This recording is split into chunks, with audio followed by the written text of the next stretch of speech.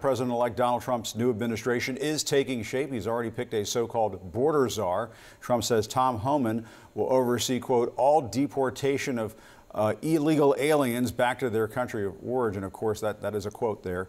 Uh, Homan has been a controversial figure. He was acting ICE director in the first Trump administration and supports Trump's mass deportation plan. Here's what he told 60 Minutes. Is there a way to carry out mass deportation without separating families? Of course there is. Families can be deported together.